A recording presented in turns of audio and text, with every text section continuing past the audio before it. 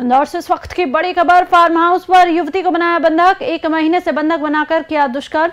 Social media से हुई थी दोस्ती, आरोपी प्रॉपर्टी डीलर राजेश विश्वकर्मा, अंकिश बघेल, विवेक विश्वकर्मा, विपिन भदौरिया और एक अन्य पर प्रकरण दर्ज। आरोपियों के चंगुल से छूटने के बाद थाने पहुँची युवती। शिप्रा थाना पुलिस ने शुरू की आरोपियों की तलाशियाँ इंदौर से बड़ी खबर, जहाँ फार्म हाउस पर युवती को बंधक बनाया एक महीने बंधक बनाकर रखा दुष्कर्म किया सोशल मीडिया पर दोस्ती हुई थी। आरोपी प्रॉपर्टी बिल्डर है राजेश विश्वकर्मा, अंकेश बखेल विवेक विश्वकर्मा, विपिन भदौरिया और एक पर अन्य पर प्रकरण दर्ज है। आरोपियों के चंगुल से छूटने के बाद सीधे थाने पहुँचे युवती, शिप्रा थाना पुलिस ने आरोपियों पर कार्रवाई शुरू की।